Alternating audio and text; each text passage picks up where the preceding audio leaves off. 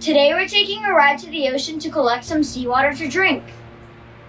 And all we're going to use to make it drinkable are recycled containers in the sun. The process is called desalination. There are many ways to do it, but today we'll be making a passive solar still. Sam, are we close? Okay. For this video, we'll be using plastic bottles and cans that we found on the beach. Oh, cool label. Now fill your container with seawater. Use a piece of cloth to filter it out. Let's head back to the pallet fortress to finish the job. Cut the bottom off the bottle. Fold it into itself to make a gutter. Then cut off the top of the can and fill it with water. Put the bottle over the can and place it directly into the sunlight.